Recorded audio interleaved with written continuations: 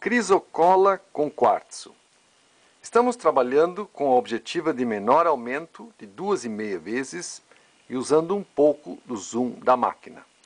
Na imagem, anicóis descruzados, nós temos um agregado de crisocola com quartzo.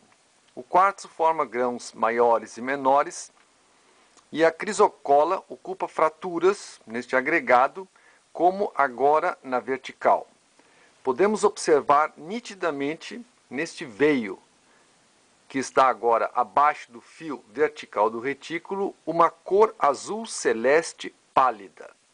É um azul muito fraco, mas que se percebe nitidamente olhando a lâmina delgada a olho nu e não apresenta pleocruísmo, porque a crisocola forma cristais muito pequenos e o eventual pleocruísmo existente não é perceptível. Observando com nicóis cruzados, nós temos esta imagem aqui. O quartzo com suas cores características de interferência entre cinza e branco. Bem à esquerda tem um grão com espessura incorreta, em amarelo. E a crisocola forma este agregado microgranular, né, que pode apresentar eventualmente cores de interferência mais elevadas. Observando com a objetiva de médio aumento de 10 vezes, nós temos este aspecto aqui da crisocola.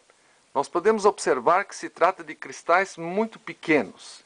Crisocola, na realidade, não é um mineral, é um nome genérico para silicatos de cobre de formas maciças globulares e este aqui, em lâmina delgada, apresenta uma cor azul celeste, né, bastante fraca, mas é bem perceptível. A birrefringência da crisocola é relativamente alta, 0,023 a 0,05. Então, em alguns cristais algo maiores, nós podemos reconhecer cores amarelas, né, mas de uma forma geral não é possível reconhecer essas cores elevadas devido ao pequeno tamanho dos grãos. Descruzando os nicóis, temos aqui nitidamente esta cor azul celeste pálida, em contraste com o quartzo à esquerda e à direita. Portanto, em alguns casos, nós temos cristais maiores, em outros casos, nós temos cores que puxam mais para o verde.